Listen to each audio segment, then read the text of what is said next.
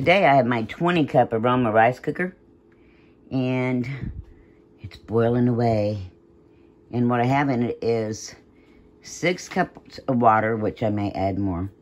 And it's got a red bell pepper diced up and two large red potatoes chopped up and um, half of a medium onion chopped up and put in there. So it's boiling away cooking. And then after a while, I will add shrimp and cod to it and some other ingredients. If I think the pot's going to boil over, which I don't think this one is, it's pretty far down there, uh, I'll put a little wood spoon under the lid to hold it open a little.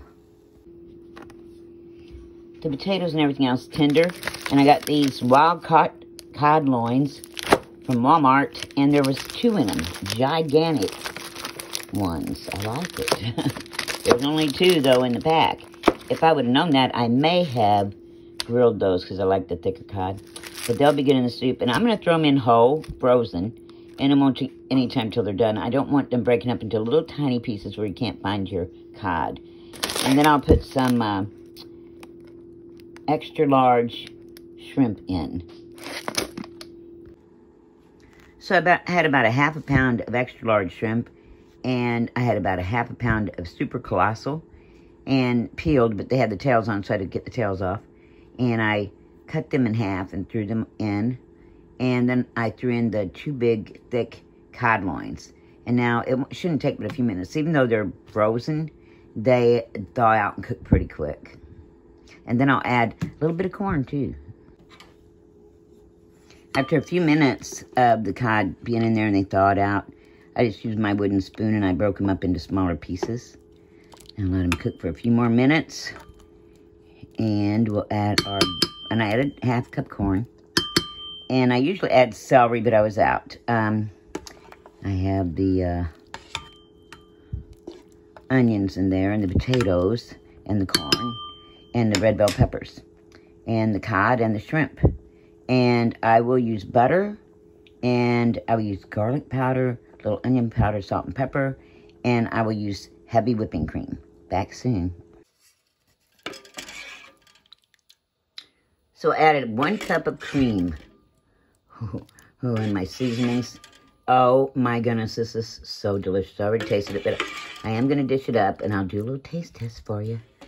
But it's a simple chowder, and if you want it thicker, you can add um, a slurry of cornstarch and water, or you can add uh, a few instant potatoes to work, or you can add flour and butter. You can make a roux, or you can take a tablespoon of flour and a tablespoon of butter, mash it up together with a fork, and drop it by little pieces while it's boiling.